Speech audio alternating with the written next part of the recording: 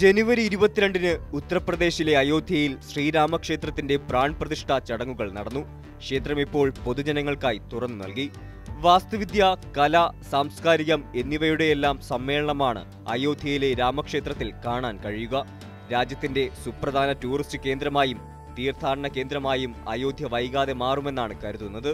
എന്നാൽ രാജ്യത്ത് ആയിരക്കണക്കിന് ശ്രീരാമക്ഷേത്രങ്ങൾ ഉണ്ടെന്നാണ് ചില കണക്കുകൾ സൂചിപ്പിക്കുന്നത്.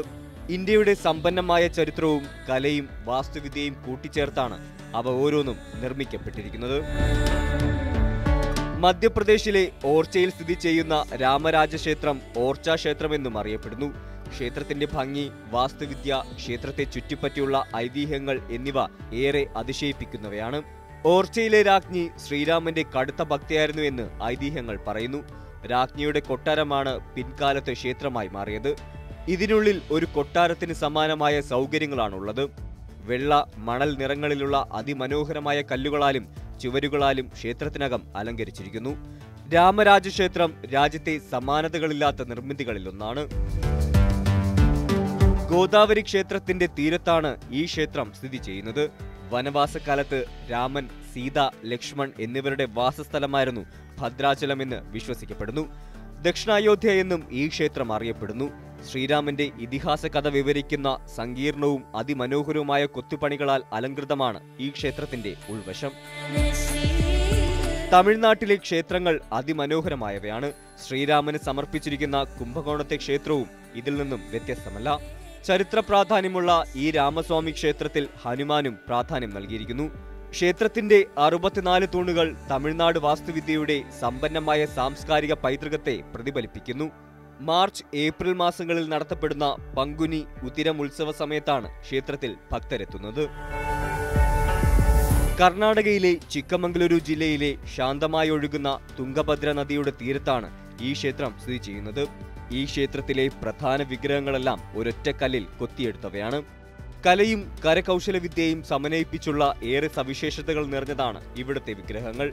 കൂടാതെ പ്രകൃതി രമണീയമായ കാഴ്ചകളും അനുഭവങ്ങളും തീർത്ഥാടകരെയും വിനോദസഞ്ചാരികളെയും ഇവിടേക്ക് ആകർഷിക്കുന്നു. ഇരുട്ട് എന്ന വാക്കിൽ നിന്നാണ് ഈ ക്ഷേത്രത്തിന്റെ പേരുത്ഭവിച്ചത് ഈ ക്ഷേത്രത്തിൽ ഭൂരിഭാഗം സ്ഥലത്തും ശ്രീരാമ വിഗ്രഹം ഉൾപ്പെടെ കല്ലിന്റെ കറുത്ത ഭാഗമാണ് ഉപയോഗിച്ചിരിക്കുന്നത്. ശ്രീരാമന്റെ പതിനാല് വർഷം നീണ്ടുനിന്ന വനവാസത്തെ സ്മരിച്ചുകൊണ്ട് പതിനാല് പടികൾ ഈ ക്ഷേത്രത്തിൽ നൽകിയിരിക്കുന്നു. കൂടാതെ എൺപത്തിനാല് ലക്ഷം ജീവിതചക്രത്തെ അനുസ്മരിപ്പിച്ചുകൊണ്ട് എൺപത്തിനാല് തൂണുകളും നൽകിയിരിക്കുന്നു. നാസിക്കിന്റെ ഹൃദയഭാഗത്ത് സ്ഥിതി ചെയ്യുന്ന ക്ഷേത്രം മഹാരാഷ്ട്രയുടെ വാസ്തുവിദ്യാ വൈവിധ്യത്തിന്റെ തെളിവായി നിലകൊള്ളുന്നു. ക്ഷേത്രങ്ങളുടെ നഗരമാണ് ഭുവനേശ്വർ. ശ്രേഷ്ഠതയിലും ആധ്യാത്മികതയിലും ഒഡീഷയിലെ വാസ്തുവിദ്യാ വൈഭവം പ്രകടമാകുന്ന രീതിയിലാണ് ഈ രാമക്ഷേത്രം നിലകൊള്ളുന്നത്. ഈ ക്ഷേത്രത്തിൽ ശ്രീരാമന്റെയും ഹനുമാന്റെയും പ്രതിഷ്ഠകൾ മാത്രമല്ല ഒട്ടേറെ ദേവന്മാരുടെയും ദേവതകളുടെയും പ്രതിഷ്ഠകളുണ്ട്. ദിവസവും വൈകുന്നേരമുള്ള ആരതിയാണ് ഇവിടുത്തെ പ്രധാന ആകർഷണം. സമാധാനവും ശാന്തതയും നിറഞ്ഞ അന്തരീക്ഷം തീർത്ഥാടകരെ ഇവിടേക്ക് ആകർഷിക്കുന്നു.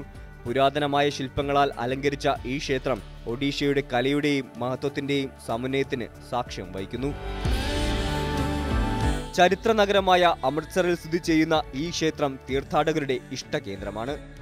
വാൽമീകി മഹർഷി താമസിച്ചിരുന്ന സ്ഥലമാണിതെന്നും സീത അഭയം തേടിയ ഇടമാണിതെന്നും വിശ്വസിക്കപ്പെടുന്നു. ശ്രീരാമന്റെ മക്കളായ ലവകുശന്മാരുടെ ജന്മസ്ഥലമായും ഇത് കണക്കാക്കപ്പെടുന്നു.